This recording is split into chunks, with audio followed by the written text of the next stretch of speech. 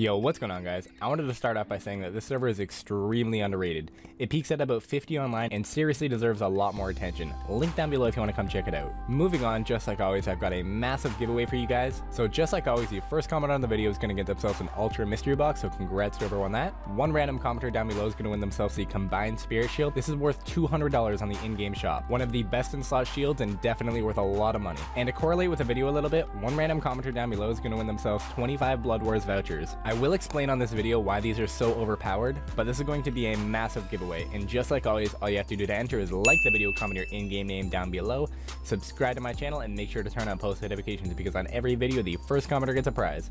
Let's get into it.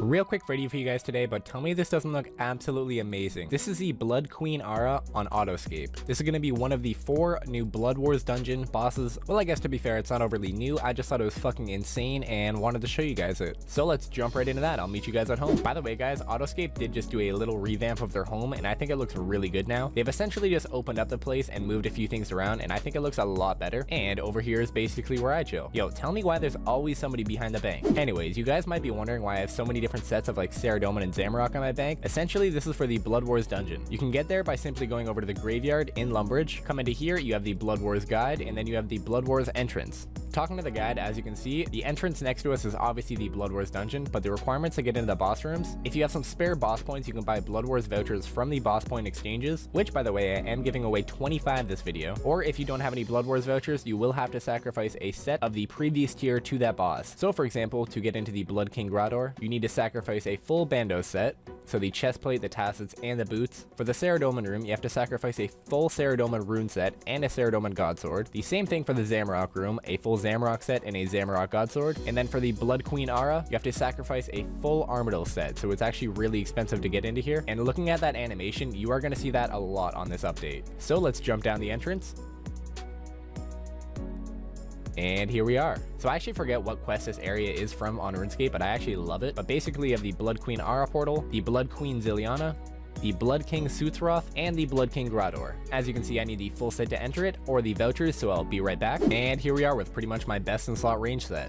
I know I'm only using the normal twisted bow, I could be using a custom one, but they hit way too fucking strong, so I decided to grab the normal twisted bow. And as you guys saw earlier, you either need the vouchers or the full set to actually get into there, so essentially one of these vouchers is worth a full God Wars dungeon set. So that's why the 25 that I'm giving away is insane. So the first thing I'm going to show off is the Blood Queen Ara. It is essentially the same thing as the normal Kree'arra, except it does a shit ton of damage and has over 2600 health. At the moment, the minions do not aggro you. That will be getting fixed in the upcoming future, so I guess uh, grind out your God Wars dungeon Dungeon 2 while you have the chance. The cool thing as well, you actually don't need multiple tickets to kill multiple bosses, so one voucher or one entrance is actually just entering an instance for you. So after you actually kill the boss, it'll just keep respawning, so you can sit there until you're out of supplies. So it is expensive, but it's not too expensive. There is also a blood altar in here as well, so you can heal and restore your prayer points, so I think that's pretty sick. But honestly, the majority of God Wars Dungeon 2, or at least when I'm in the Vorkath set and using a Twisted Bow, is pretty AFK. I'll finish up this Kree'arra kill, and I'll see you guys in a minute. And there we are, that boss done.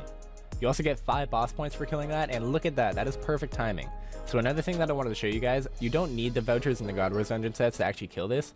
As you can see in the chat, the Blood Wars Zeliana spawned in the wilderness as a little world boss. So when you're playing on Autoscape, be sure to go check that out. But moving on now, we're to go check out the Blood Grador, climbing back down the hole, and once again using another Blood Wars voucher. So once again, the minions don't aggro you. If you would like a challenge, you can aggro the minions, but there's no real point. Honestly, in the gear that I'm in, everything on the Blood Wars dungeon is really fucking AFK. So with that, I decided to dumb it down a little bit for myself, make it a little bit more relatable for you guys. But I still have my Twisted Bow. Moving on, let's check out the Blood Queen Ziliana. I cannot get over how these bosses look.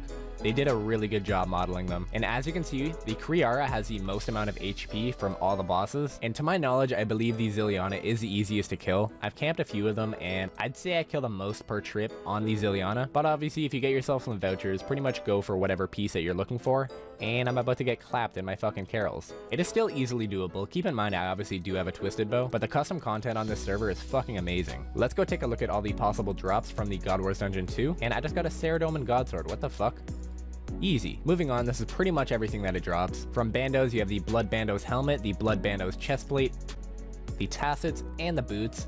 As well, you also have the Pet Grador, the Blood Prince Suthroth, the Blood Princess Ara, and the Blood Commander Zileana. They all look fucking amazing. Honestly, there are some really clean looking pets. You also have chances to get the Lunar Staff and the Twisted Magma Bow, which are the best in slot weapons in the game, as well as a Demonic Scythe. There is definitely a lot of different rewards from the God Wars Dungeon 2, and it is so fucking unique. Once again, another amazing aspect about this server. There's obviously a lot more to Autoscape than that. I just thought that content was really unique and I wanted to show for you guys. Come check out Autoscape, guys. Link down below. This server is actually sick, and like I said, it peaks at about 50-60 online very often. This server seriously deserves a lot more appreciation than it gets. The staff team definitely go out of their ways, and the community is so friendly. But I guess with that, guys, I'm gonna wrap up the video here. Like I said earlier, I apologize for the shorter video, but I just thought that was insane. Just like always, guys, don't forget to enter that juicy giveaway. I hope you guys enjoyed, and later!